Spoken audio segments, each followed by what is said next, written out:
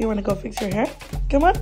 Um, I'm Hyoni and my dog Milo loves getting his hair done. So today I'm going to show you how I style it. First thing in the morning, Milo follows me instantly, wigging his tail and jumping up on the counter. To keep Milo's hair really luscious, I first wash it and I also use coconut oil to make it shiny. Then I style his hair. I've done Dutch braids, French braids, bubble braids, dragon braids, and even curls. And sometimes I'll add little bows or clips for the perfect touch. A lot of times he'll fall asleep because he's so relaxed.